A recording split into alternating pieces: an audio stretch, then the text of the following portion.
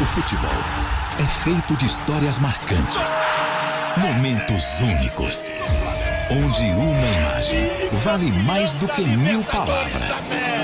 O amor do torcedor pelo seu time não tem limites, nem distâncias.